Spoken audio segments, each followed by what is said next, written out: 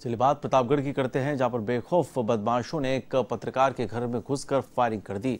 घटना में पत्रकार के हाथ में गोली लगी है, जिसके बाद स्थानीय लोगों ने दोनों आरोपियों को मौके पर ही दबोच लिया और उनकी जमकर धुनाई भी कर दी। बाद में पत्रकार देवीलाल मालवी को गंभीर हालत में जिला अस्पताल में भर्ती कराया गया। वहीं दोनों आरोपियों को पुलिस के हवाले कर दिया।